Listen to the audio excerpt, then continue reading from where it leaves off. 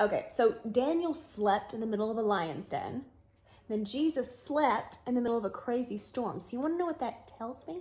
That tells me that if I'm going through anything wild in my life, all I've got to do is just take a nap.